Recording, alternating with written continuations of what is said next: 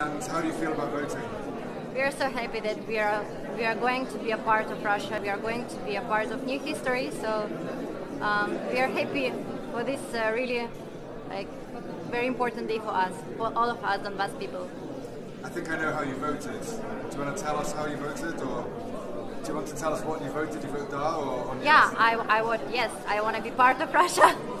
And what, what, why did you vote yes? Uh, because already for like eight and a half years we are suffering here and um, under the war, under the bomb. So we want to be, we want to live in uh, peace. We want to be part of normal country, which is supporting us, which is helping us all the time. So that's why we are we vote yes. And what, has it been like here for the last eight years? For last what? Last for the last eight years. Um, uh, actually, like I, I we, we was living uh, not here. Like we came back here like one year ago, um, but my family was here. Um, my mom, my auntie, my grand, my father. Uh, so the, there was bombing all the time and no support from our country. Like I mean Ukraine.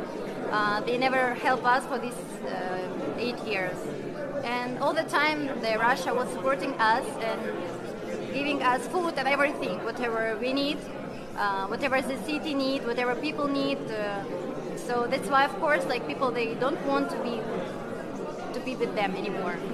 And there seems to be a real happiness here today, and joy. Why is that, do you think? Yeah, we are we are very happy today because because we are we're gonna live a normal life soon. Okay, so Thank you. What else?